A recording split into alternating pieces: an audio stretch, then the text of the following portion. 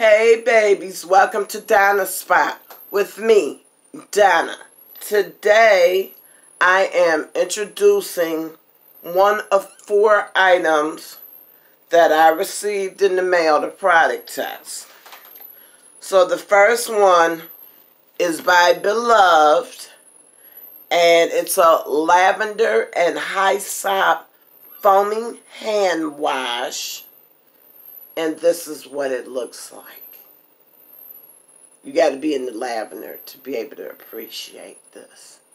But this is really, really nice. So until next time, I'll see you later. And by the way, I received it from It Sampling for my opinions. I'll see you later.